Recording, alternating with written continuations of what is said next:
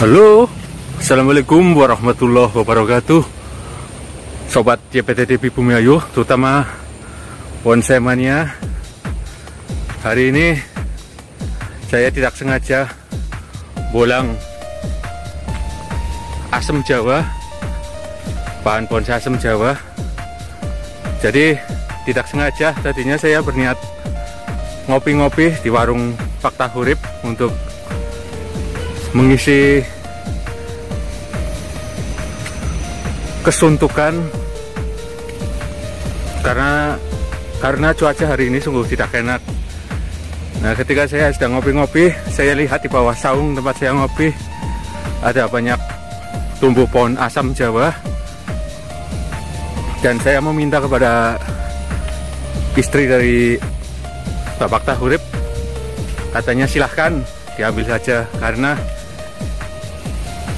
asam jawa ini tumbuh dari biji asam yang sudah benar-benar tua.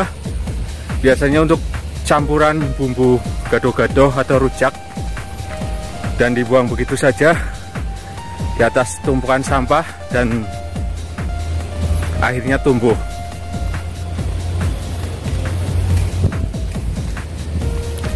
di rumah saya juga sengaja menanam biji asam jawa tapi tidak tumbuh. Mungkin dikarenakan asam itu terlalu mudah atau mungkin juga asam itu matang karena sudah dikukus lebih dahulu. Biasanya untuk mengawetkan asam dikukus dan dijemur. Jadi otomatis biji asamnya mati dan tidak bisa dipakai untuk atau disemaikan untuk membuat bibit bonsai asam jawa.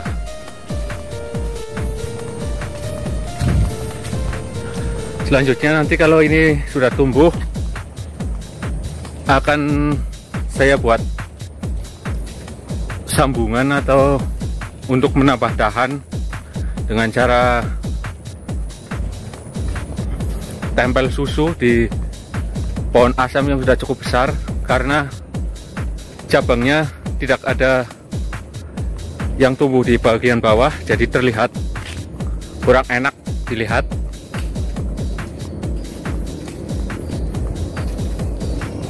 Dan sebagian lagi akan saya buat bahan bonsai tersendiri.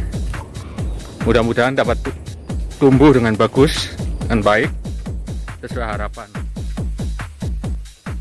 Bonsai mania sekalian. Inilah tadi kegiatan saya dalam mengambil atau mendongkel bibitan pohon asam jawa yang akan saya jadikan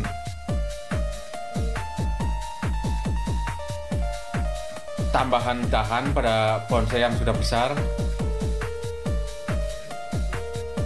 Jadi saya tidak sempat merekam audionya.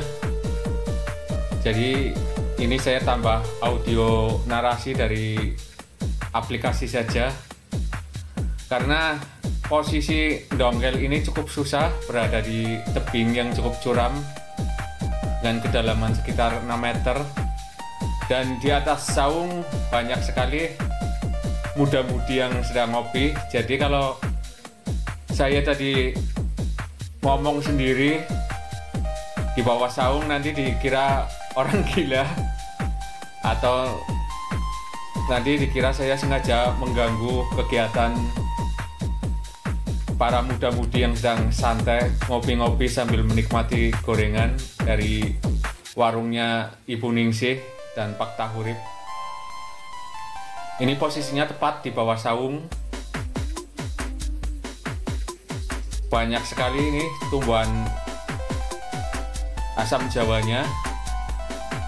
Jadi biasanya sisa-sisa dari bumbu gado-gado atau rujak masih ada biji asamnya yang utuh dan dibuang bersama sampah ke tebing ini dan tumbuh dengan sendirinya. Oke, langsung saja kita saksikan bersama-sama acara Donggel ini. Selamat menyaksikan.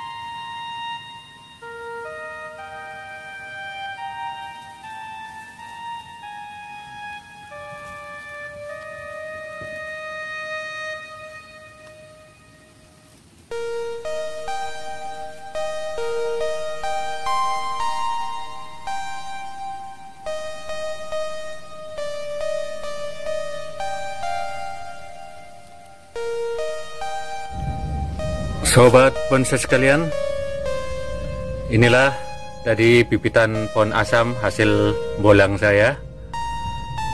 Sudah saya tanam di sekitar pohon asam yang sudah cukup besar ini.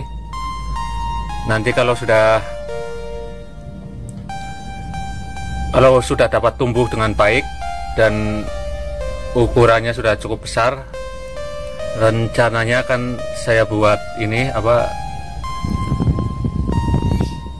akan saya lakukan tempel susu untuk membuat atau menambah percabangan dari bonsai asam ini karena cabangnya tidak mau tumbuh di bagian bawah.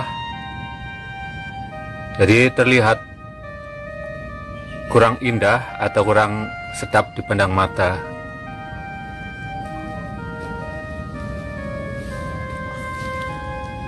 Sementara sisa dari hasil dongkelan bibit asam tadi saya semaikan atau saya tanam di tempat lain. Baiklah, sobat ponsel sekalian, demikian tadi acara saya hari ini yaitu bolang bahan bonsai asam Jawa. Bolang secara tidak sengaja sebab tidak ada niatan tadinya. Sampai jumpa di lain video. Wassalamualaikum warahmatullahi wabarakatuh. Salam bonsai Wandia, salam hijau Indonesia.